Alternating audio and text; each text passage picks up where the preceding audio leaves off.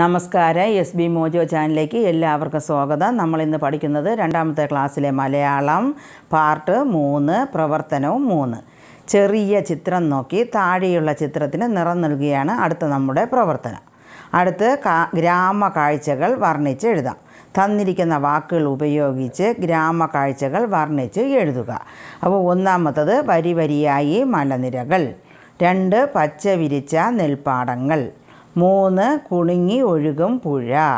നാല് പച്ച നാല് പുഴയ്ക്കരികെ തലയുയർത്തി നിൽക്കുന്ന മരം. നാലാമത്തത് പുഴയ്ക്കരികെ തലയുയർത്തി നിൽക്കുന്ന മരം.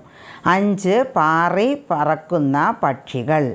ആറ് പഞ്ഞിക്കെട്ട് പോലെ മേഘങ്ങൾ. അപ്പോൾ ഈ വാക്കുകൾ ഉപയോഗിച്ച് ഗ്രാമ കാഴ്ച കാഴ്ചകൾ വർണിച്ച് എഴുതണം. അപ്പം വരി വരിയായി നിൽക്കുന്ന മലകൾ. മലകൾക്ക് താഴെ പച്ച വിരിച്ച നെൽപ്പാടങ്ങൾ. പാടത്തിനരികിലൂടെ കുണുങ്ങിയൊഴുകുന്ന പുഴ. പുഴയിലൂടെ ഒരാൾ തോണി തുഴഞ്ഞ് നീങ്ങുന്നു.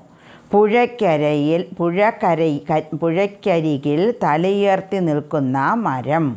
പുഴയ്ക്കരികിൽ തലയുയർത്തി നിൽക്കുന്ന മരം. പുഴയ്ക്കരികിൽ തലയുയർത്തി നിൽക്കുന്ന മരം. ആകാശത്തു കൂടി കിളികൾ പാറി പറക്കുന്നു. പഞ്ഞിക്കെട്ടുകൾ പോലെയുള്ള മേഘങ്ങൾ ആകാശത്ത് ഒഴുകി നടക്കുന്നു. അപ്പോൾ ഇത്രയും നമുക്ക് ഒരിക്കലും കൂടെ നോക്കാം. വരി വരിയായി നിൽക്കുന്ന മലകൾ മലകൾക്കു താഴെ പച്ച വിരിച്ച നെൽപ്പാടങ്ങൾ പാടത്തിനരികിലൂടെ കുണുങ്ങിയൊഴുകുന്ന പുഴ പുഴയിലൂടെ ഒരാൾ തോണി തുഴഞ്ഞു നീങ്ങുന്നു. പുഴയ്ക്കരികിൽ തലയുയർത്തി നിൽക്കുന്ന മരം. ആകാശത്തു കൂടി കിളികൾ പാറി പറക്കുന്നു. പഞ്ഞിക്കെട്ടുകൾ പോലെയുള്ള മേഘങ്ങൾ ആകാശത്ത് ഒഴുകി നടക്കുന്നു. മനോഹരമായ ഈ കാഴ്ചകൾ നിറഞ്ഞ എന്റെ ഗ്രാമം എത്ര സുന്ദരമാണ്. മനോഹരമായ ഈ കാഴ്ചകൾ നിറഞ്ഞ എന്റെ ഗ്രാമം എത്ര സുന്ദരമാണ്. അടുത്ത പ്രവർത്തനം നാല് കവിതയിൽ നിന്ന് കണ്ടെത്തി എഴുതാം. എന്റെ നാട്ടിൽ പാട്ടുപാടിയൊഴുകുന്ന പുഴകളും തോടുകളും ഉണ്ട്. എന്റെ നാട്ടിൽ പാട്ടുപാടിയൊഴുകുന്ന പുഴകളും തോടുകളും ഉണ്ട്. ചന്തമുള്ള പൂക്കൾ നിറഞ്ഞു നിൽക്കുന്ന കാടുകൾ ഉണ്ട്. ചന്തമുള്ള പൂക്കൾ നിറഞ്ഞു നിൽക്കുന്ന കാടുകൾ ഉണ്ട്. നീലമലകളും കളകളം പാടിയൊഴുകുന്ന കാട്ടുചോലകളും ഉണ്ട്.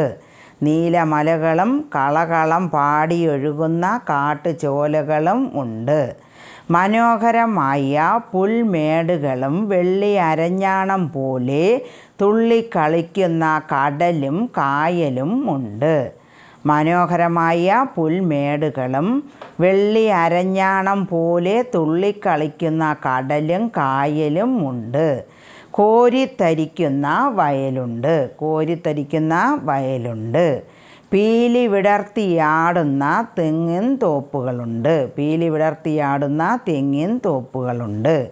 ഇതൊക്കെയുള്ള എന്റെ കേരളം എത്ര സുന്ദരമാണ്. ഇതൊക്കെയുള്ള എന്റെ കേരളം എത്ര സുന്ദരമാണ്.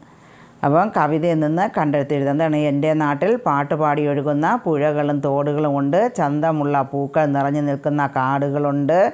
നീല മലകളും കളകളം പാടി ഒഴുകുന്ന കാട്ടുചോലകളും ഉണ്ട്. മനോഹരമായ പുൽമേടുകളും വെള്ളി അരഞ്ഞാണം പോലെ തുള്ളി കളിക്കുന്ന കടലും കായലും ഉണ്ട്.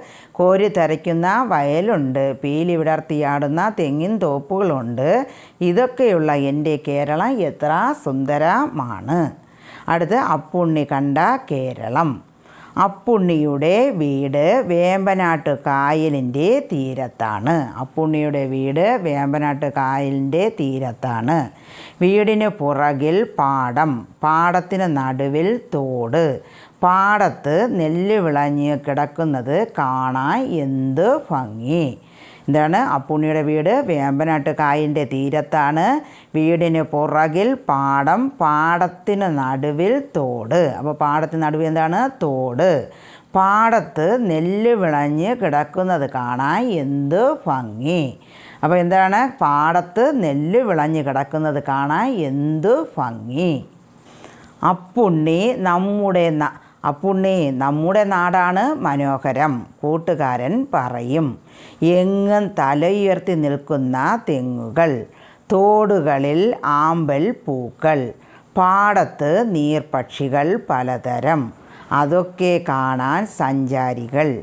ശരിക്കും മനോഹരമായ നാട്. അപ്പുണ്ണി തല കുലുക്കി. അപ്പോൾ ഇവിടെ എന്താണ് പറഞ്ഞത്? അപ്പുണ്ണി നമ്മുടെ നാട് മനോഹരം.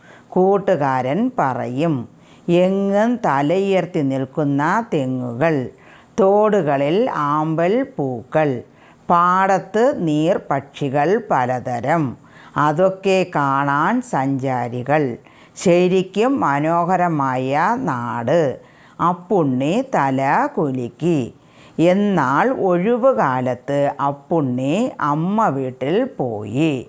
എന്നാൽ ഒഴിവുകാലത്ത് അപ്പുണ്ണി എവിടെയാണ് പോയത്? അമ്മ വീട്ടിൽ പോയി. അവിടെ കായലില്ല പാടമില്ല പക്ഷേ വലിയ മലയുണ്ട്. മനോഹരമായ കാടുണ്ട്. പാട്ടും പാടി ഒഴുകുന്ന കുഞ്ഞരുവിയും ഉണ്ട്. അപ്പുണ്ണി ആ മനോഹരമായ നാട് കണ്ട് കൂട്ടുകാരന് ഫോൺ ചെയ്തു. കൊച്ചു മുഹമ്മദേ ഈ മലനാടും മനോഹരമാണ്. ശരിയാ കേരളം മുഴുവൻ മനോഹരം തന്നെ കൂട്ടുകാരനും സമ്മതിച്ചു.